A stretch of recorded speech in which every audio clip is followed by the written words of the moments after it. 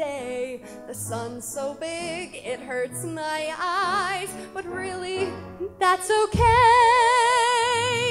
A brand new day with things to do, so many plans to make. I've had six cups of coffee, so I'm really wide awake.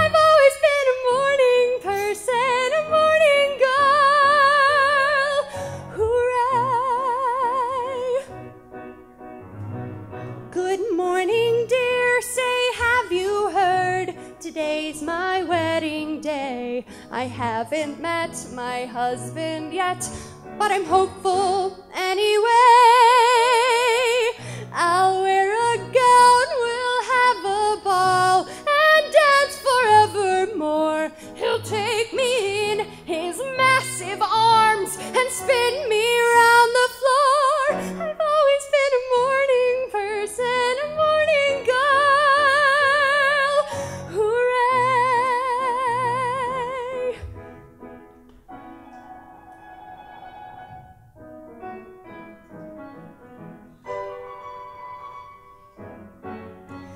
A brand new start, a palate cleanse as fresh as a lime sorbet.